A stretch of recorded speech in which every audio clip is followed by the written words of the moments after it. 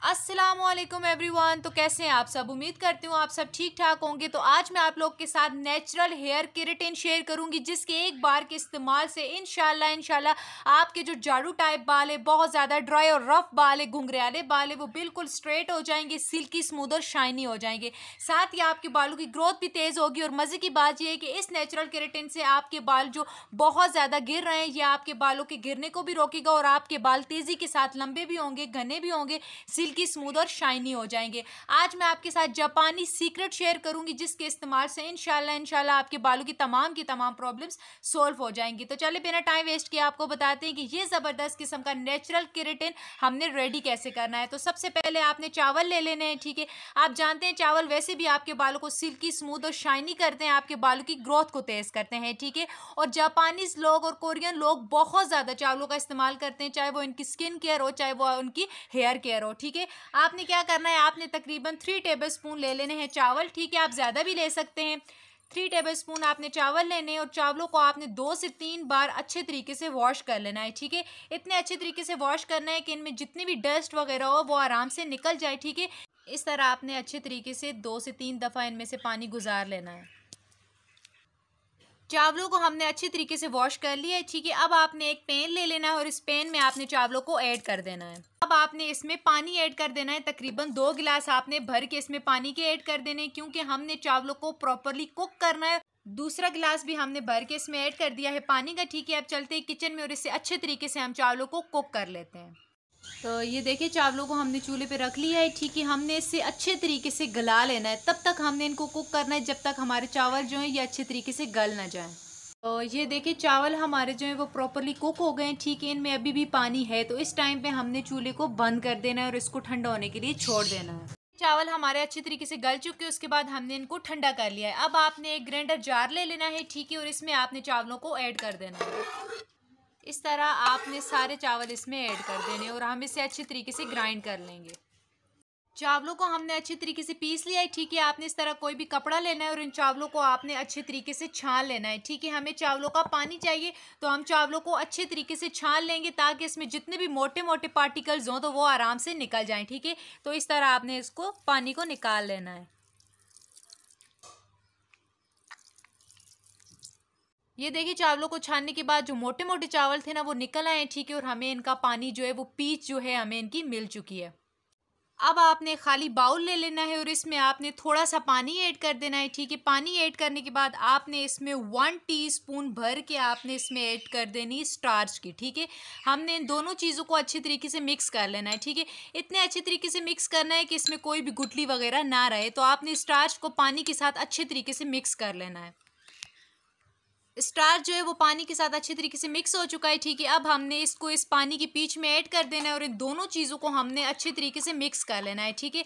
अब भी आपने अच्छे तरीके से मिक्स करना है ताकि इसमें कोई भी गुटली वगैरह ना रहे। अगर इसमें गुटली रह गई तो आपकी क्रीम जो होगी उसमें भी गुटली रह जाएगी, ठीक है। तो ये देखें हमने दोनों चीज़ों को अच्छे तरीके से मिक्स कर लिया है। अब आपने वही पेन ले लेना है, ठीक है, और इस पेन में आपने इस मिक्सचर को ऐड कर देना है।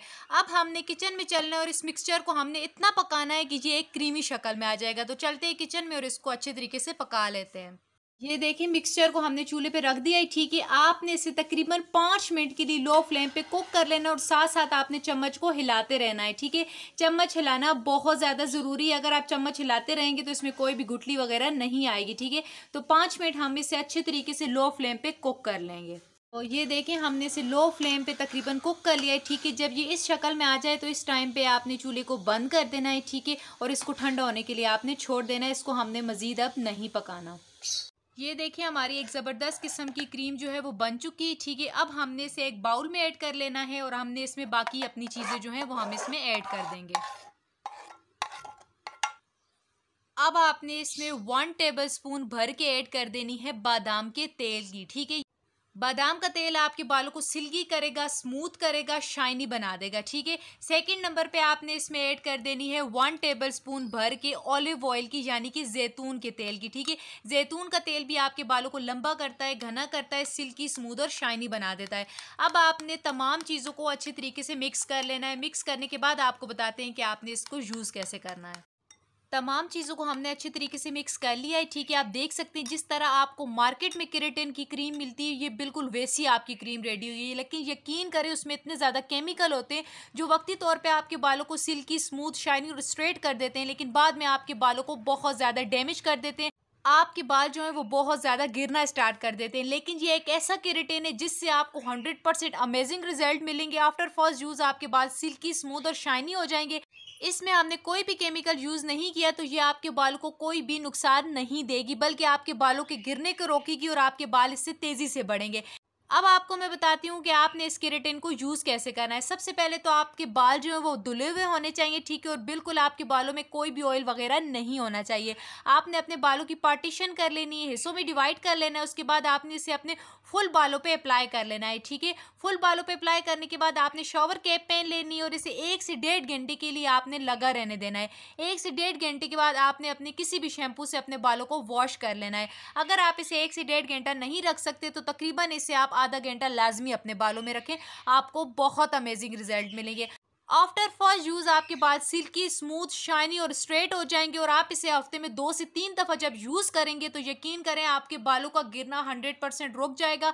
आपको किसी किस्म के ऑयल की ज़रूरत नहीं पड़ेगी, किसी किस्म के सीरम टोनर की ज़रूरत नहीं पड़ेगी। इसे हर एज का बंदा आराम से यूज़ कर सकता है, आप इसे अपने बच्चों को भी यूज़ करवा सकते हैं, लड़के, लड़कियाँ दोनों यूज़ कर सकते हैं, इसके बहुत अमेजिंग रिज़ल्ट हैं। आई होप ये ज़बरदस्त सी वीडियो आपको पसंद आई होगी। वीडियो पसंद आए तो वीडियो को लाइक कीजिएगा चैनल को सब्सक्राइब कीजिएगा, दोस्तों के साथ शेयर कीजिएगा। और कमेंट में अपनी राय का इजहार देना बिल्कुल भी मत भूलेगा अपना ढेर सारा ख्याल रखिएगा। हाफिज़।